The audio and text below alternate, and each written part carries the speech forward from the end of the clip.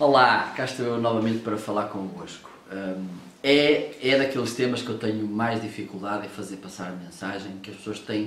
de certa forma, um, muita resistência em, em aceitar e em absorver e começar a, a, aplicar, o que é a questão da segmentação do mercado. Uh, muitas vezes as pessoas entendem que estar a, a segmentar o mercado lhes tira clientes, que vão, vão perder receitas, vão perder uh, vendas, vai ser uma desgraça total e, e meu Deus não me fala nisso que é da segmentação. E eu estava, estava a pensar de que forma é que poderia melhor ilustrar esta questão do que é segmentar o mercado. E então hoje, por acaso, estava, estava a ver umas fotografias que tirei há dias e vi uma fotografia do Jardim Público de Viana. E eu pensei, bom, se calhar o Jardim Público é uma boa forma de explicar uh, aquilo que é segmentar o mercado. Porque se não vejamos,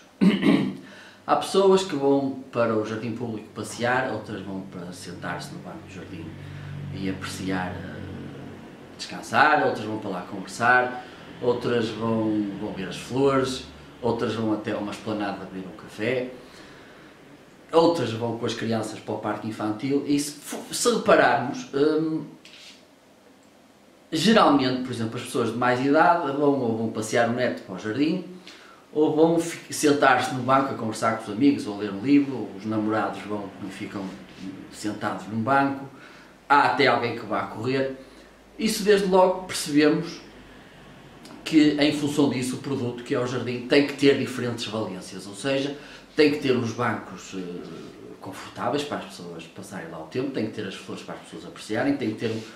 um parque infantil para as crianças brincarem e que tem que estar de acordo com todos os requisitos que os parques infantis têm que ter. E eh, uma vez que em algumas situações vão com pessoas mais idosas tem que ter lá um banco para elas poderem estar acomodadas. Tem a questão já que vão lá pessoas idosas convém que tenham uma, uma, uma estrutura de apoio de, casas de banho com, com algumas particularidades eh, relacionadas com os com os idosos, os próprios acessos no parque, no parque e no jardim público e as, as ruas devem estar adaptadas às pessoas e desde logo podemos ver o que é a importância da segmentação em termos de produto, apenas e só de produto. Agora imagine que quer comunicar, quer vender o seu jardim público. Uh, a mensagem que vai ter que passar, por exemplo, para as pessoas que vão lá passear, terá que ser diferente daquela que tem que passar para os pais das crianças, os avós das crianças que vão para o jardim infantil. Isto aqui, eh, ter esta consciência pode ser muito útil, por exemplo, se quer comunicar através do Facebook, e então o que é que faz? Percebe claramente, estas pessoas vão lá fazer isto, estas vão fazer isto, elas vão fazer isto, e fazer o perfil da pessoa que nós estamos aqui a idealizar e depois, eh, em função disso, escolher os segmentos, os interesses a localização geográfica, a idade, sexo e tudo mais, das pessoas que nós vamos escolher no Facebook para comunicar o nosso, o nosso jardim público. Um, foi a, a, forma que eu encontrei para, para melhor ilustrar uh, isto que é o processo de, de segmentação do mercado, porque é que se deve fazer e que coisas há a ter em consideração e de certa forma também uh,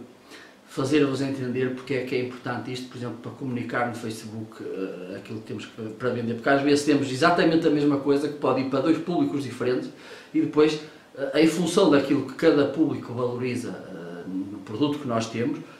porque, por exemplo, uma senhora pode querer um vestido para ir a uma festa, mas uma miúda pode querer um vestido para ir a uma, uma, uma moça mais nova pode querer um vestido para trabalhar, ou vice-versa. Nós, exatamente o mesmo vestido, por isso é muito importante nós percebermos o que é que se pode fazer com, com o nosso produto, se há diferentes tipos de, de, de pessoas que usam o nosso produto, o mesmo produto, para, para, finalidades diferentes, que é para depois percebermos quando partimos para a parte da comunicação e usando, nomeadamente, uh, ferramentas ou plataformas digitais, perceber que podemos fazer a segmentação usando uh, mensagens diferentes, apesar de produto ser exatamente o mesmo, podemos usar mensagens diferentes para chegar aos diferentes públicos de uma maneira mais efetiva. Ok? Espero que esta, eh, que esta minha reflexão vos seja útil. É muito importante, efetivamente, e realço isto porque é mesmo muito importante, segmentar o mercado, perceber que pessoas diferentes querem coisas diferentes e percebem de maneira diferente aquilo que nós estamos a fazer e a maneira como nós falamos. Tenha isto em consideração. Espero que tenha sido útil. Agradeço-lhes imenso o tempo que despenderam para me ouvir e para. Uh, até breve. Uh, continuação de bons negócios. Se quiserem deixar aqui nos comentários mais algumas sugestões de dúvidas que tenham, de questões que queiram levantar, opiniões, uh, agradeço imenso, ok? Até breve.